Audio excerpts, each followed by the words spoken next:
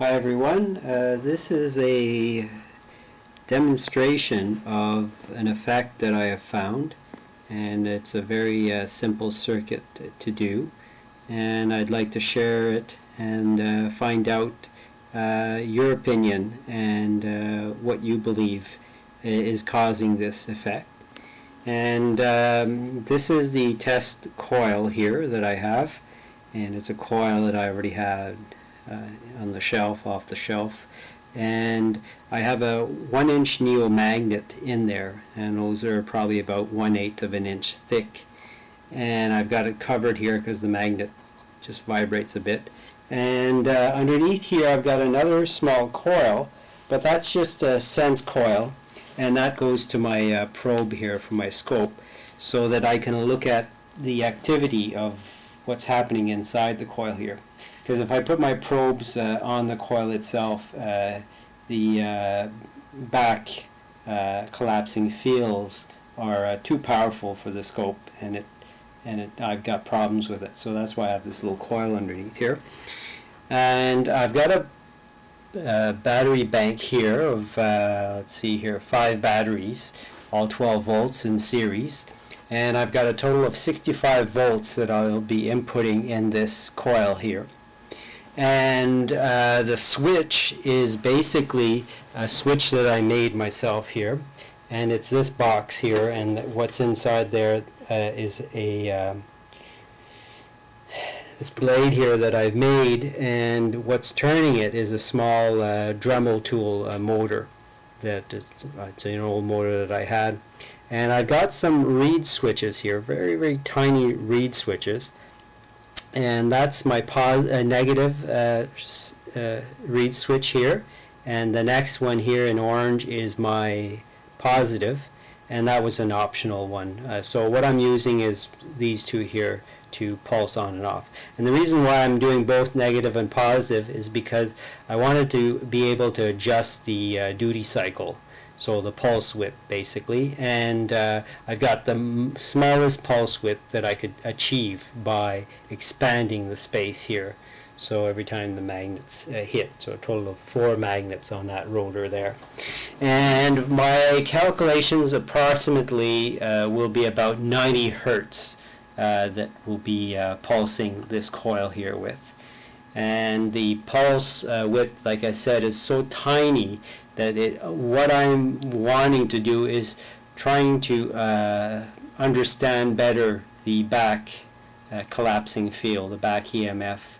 And um, what I have found is very interesting, and it's basically the you know the thing that we've been doing all along. All uh, many of us is collecting the collapsing field by inserting a diode here in the reversed side here. So this is my negative, but once the field collapses, it the collapsing field will go into the positive direction. But instead of accumulating this into a capacitor, like many of us have been doing, I just decided one day or a few days ago to uh, try and see what would happen if you just take that and just send it back into the coil itself what would happen. And what I have found that happens is uh, that back EMF, even though it doesn't have much energy as far as, you know, when we're trying to charge a capacitor compared to what we've put in, it has an amazing force to interact with the magnet. And I'll demonstrate that by this simple little uh, demonstration I've put together here for you. And uh, we'll have a look at the uh, the scope shot as well there. And um, so let me start this up here. Oh I've got an amp meter attached to it here. And let me start this gizmo up. So there goes my rotary switch now it's turning and it's uh, getting up to speed and I'll connect my uh, lead here, my negative.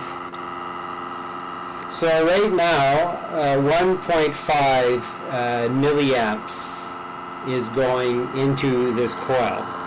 And the coil, if you listen to it, sorry this camera is really cheap, uh, the quality might not be too good. I can't get too close. The coil is kind of can kind of hear activity in it. But what's interesting is as soon as I push the switch on, you'll see that magnet starting to vibrate. So that magnet now, I'll release it. That magnet is not moving to when I press the button, okay? It's now hovering. Unfortunately, this camera can't get too close, so you can't see it that well. But if you play with this experiment, you'll find this is correct. So it seems that that energy, that collapsing field, has more energy to kick that magnet than the energy itself that's going into the coil. And this is what happens to it. We're at 1.5 milliamp and here's when I trigger the back EMF to go into the coil once more. The power goes down. So the power consumption goes down and the magnet, the activity of the magnet is much more. And it's not double. It's more like triple, if not more than that. It's kind of difficult to calculate, but I think all you experts out there uh, can maybe uh, test this out and see what you, you find. So it's very simple, very basic, nothing complicated about it. And now I'll give you a view of the scope shot. Okay, so this is the uh, scope shot here with with it at uh, 20 microseconds and I'll expand that. And we're now looking at one pulse and I'll even expand that more.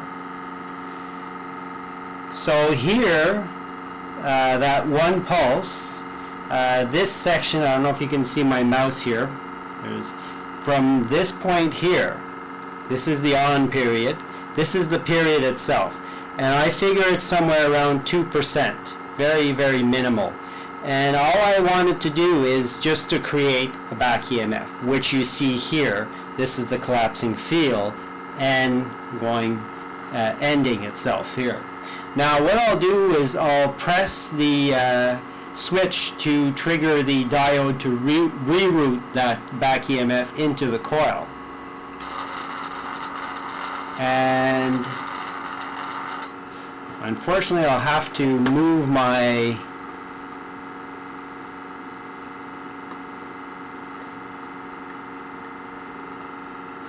Okay, let's do that again. Let's try that.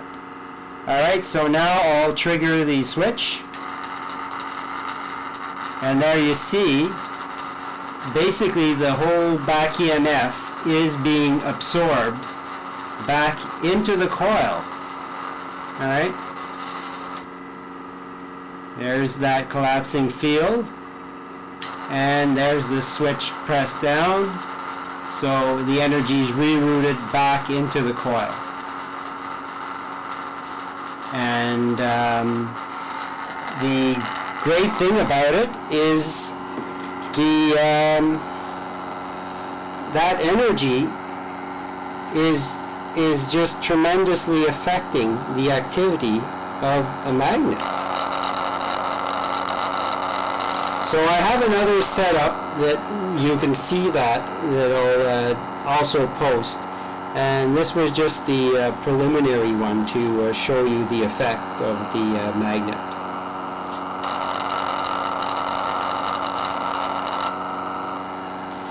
So that's it for now. And um, Oh yeah, the switch, I decided to use that uh, as a test just instead of using uh, MOSFETs or transistors to see, to make sure this effect is real and it's not something that the transistors are doing.